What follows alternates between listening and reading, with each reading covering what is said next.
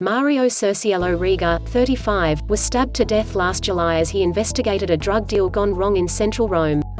Californian students Finnegan Lee Elder and Gabrielle Christian Natale Hjorth face life sentences if convicted. The U.S. students say they were acting in self-defense, believing the two officers, who they say did not identify themselves, were criminals. Rega's murder received huge amounts of attention in Italy. He had only just returned to duty from his honeymoon, and huge crowds turned out for his funeral at the same church where was married just 43 days before. But there have also been questions about how the case has been handled.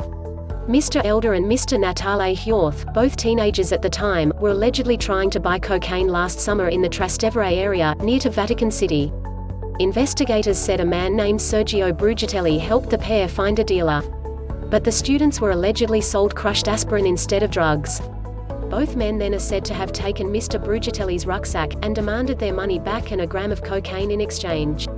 At this point, Mr. Brugiatelli allegedly rang the police. Undercover officers Rega and his partner, Andrea Varriale, arrived soon after. During the ensuing brawl Rega was stabbed 11 times with an 18 cm 7-inch blade.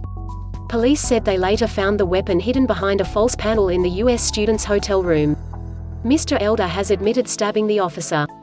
But both he and Mr. Natale Hjorth stand accused of murdering Rega, and are also facing extortion charges. There have been a number of questions raised about the case in both the Italian and US media. A leaked photo showing Mr. Natale Hjorth blindfolded and restrained at a police station appeared in the press shortly after their arrest. Rega's partner Mr. Varriale later said he had filmed Mr. Natale Hjorth's interrogation on his phone, which is where the photo came from. The police officer said he and Rega identified themselves on the night. But the US students say they saw no evidence they were police. And Mr. Varriale also faced a dereliction of duty charge for not carrying his weapon on the night. Neither he nor Rega were armed, which is against procedure.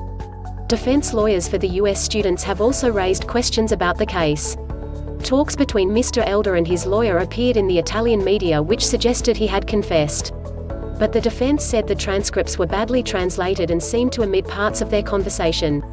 Some in the US have even compared the case to that of Amanda Knox. The US student served four years in prison for the murder of Meredith Kercher. Italy's top appeals court overturned her conviction in 2015. Thanks for watching for more news subscribe like and share World News Channel.